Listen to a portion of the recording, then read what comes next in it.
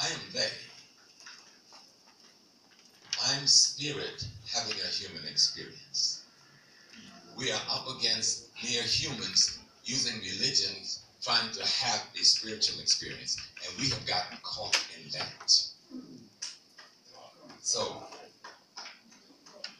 when we talk about reconciliation, what I want to reconcile with is my ancestors. I do not want to reconcile with anyone else.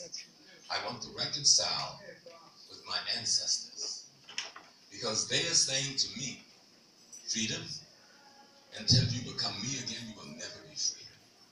They're saying to me, you're talking about liberty? You will never know liberty until you again know me. Because I am you.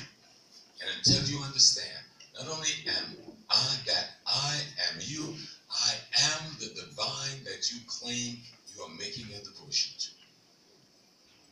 And we know it for those who are Muslims and Christians in all your prayers, you say the same thing. God is one.